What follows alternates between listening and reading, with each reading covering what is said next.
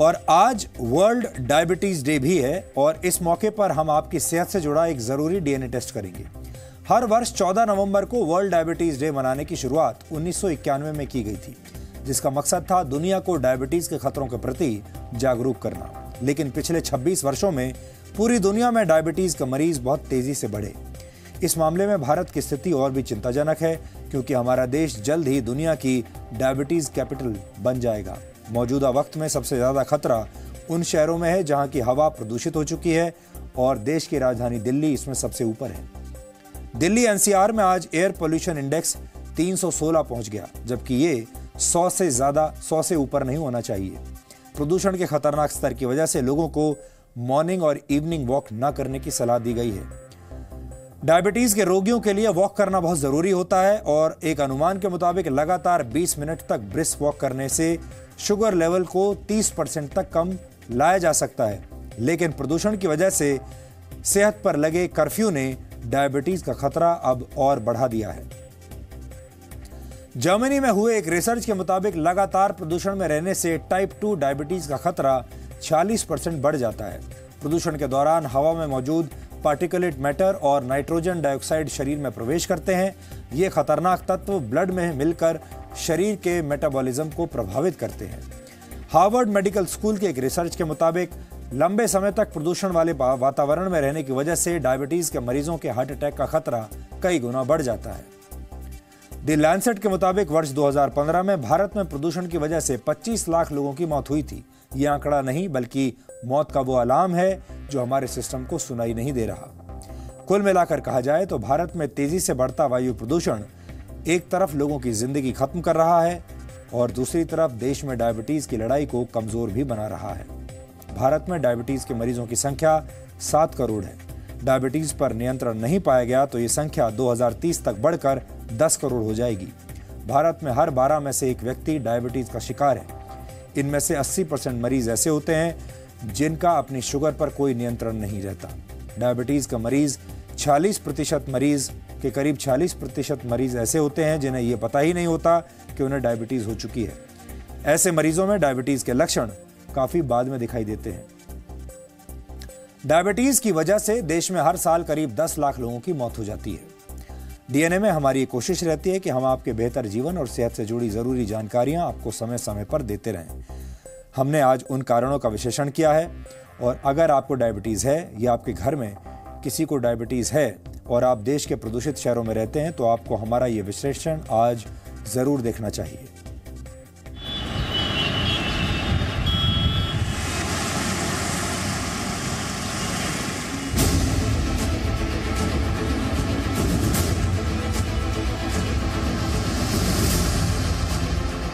प्रदूषण वाली हवा आपको डायबिटीज़ की तरफ़ ले जा रही है।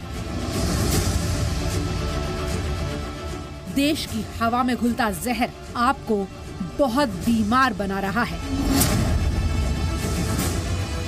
प्रदूषित हवा ने आपकी सेहत पर कर्फ्यू लगा दिया है।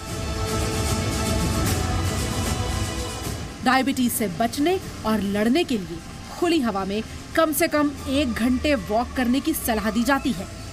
लेकिन प्रदूषित हवा में घूमना किसी खतरे से कम नहीं है। यानी वायु प्रदूषण ने शरीर में शुगर लेवल्स को कम करने वाले सबसे ज़रूरी काम पर ही लगाम लगा दी है। देखिए, हम डायबिटीज़ के पेशेंट्स को कहते हैं एक्सरसाइज कीजिए। लेकिन हम ये भी कहते हैं कि इतना पोल्यूशन बाहर है तो एक्सरसाइज ना करें तो दोनों का बैलेंस करने की ज़रूरत है। तो ये हम तो ये कहते हैं कि अगर एक्सरसाइज करना है तो जब पोल्यूशन लेवल ज़्यादा है तो घर के अंदर एक्सरसाइज कीजिए। और अगर बाहर करनी है तो जब धूप निकल जाए, थोड़ा टेम्परेचर बढ़ जाए तो अपने वॉक के लिए जाएँ और रेगुलर एक्सरसाइज करें। प्रदूषण में डायबिटीज़ के मरीजों पर होने वाले डबल अटैक को जानने के लिए तेरह यूरोपीय देशों के तीन लाख लोगों के बीच एक रिसर्च करवाई गई। इसके नतीजे हैरान करने वाले हैं। वायु प्रदूषण के 10 माइक्रोग्राम प्रति घन मीटर बढ़ने पर डायबिटीज़ के रोगियों का इंसुलिन लेवल कम होने लगता है, जिससे शुगर लेवल्स बढ़ जाते हैं। वायु प्रदूषण के पाँच माइक्रोग्राम प्रति वर्ग मीटर बढ़ने पर शरीर में कई गंभीर बीमारियाँ पैदा हो सकती हैं। इन बीमारियों से होने वाली मौतों का आंकड़ा सात प्रतिशत तक बढ़ सकता है। कि जहाँ पर ज़्यादा पॉल्यूशन हो उनकी शुगर बढ़ती चली जाती है। तो ये अंदर इन्फ्लेमेशन एक एक, एक समझ लिए कि एक तरह की आग थोड़ी हल्की हल्की आग पैदा कर देता है पॉल्यूशन। लंग से शुरू होता है, उसके बाद सब जगह बॉडी में फैल जाता है। तो उससे डायबिटीज़ एक इन्फ्लेमेटरी डिज़ीज़ है और उससे डायबिटीज़ इंसुलिन का एक्शन खराब हो जाता है डायबिटीज़ होने के चांसेस ज़्यादा हो जाते हैं। लंबे समय तक प्रदूषित हवा में सांस लेने पर कई छोटे कण शरीर में प्रवेश कर जाते हैं, जिसकी वजह से धमनियों के अंदर की लेयर कमज़ोर होने लगती है। इसके अलावा बहुत प्रदूषित कण नर्वस सिस्टम को भी प्रभावित करते हैं। जिसकी वजह से अस्थमा और सांस लेने की समस्याएँ बढ़ सकती हैं। हवा में घुला प्रदूषण का जहर लोगों को वक्त से पहले ही मौत बांट रहा है। डेटा तो ये बोलता है कि ए, टोटल 16 परसेंट जो डेथ हुई है होती है पर ईयर यहाँ पे वर्ल्ड में ओवरऑल वर्ल्ड में 9 परसेंट जो डेथ है वो है पोल्यूशन के द्वारा। भारत में जो डेथ हो रही है पोल्यूशन के द्रो उसमें रिपोर्ट में दे दे रखा उन्होंने काफ़ी डिटेल में दे रखा है। और लेकिन उसमें हम ये बता सकते हैं आपको कि भारत में जो डेथ हो रही है वो चाइना से ज़्यादा है। है ना जितना पोल्यूशन के स्पेशली एयर पोल्यूशन के थ्रू इसके बावजूद देश के सिस्टम की आँखों पर पट्टी बंधी है।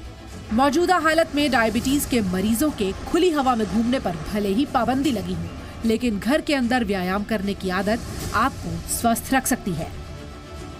पूजा मक्कड़ जी मीडिया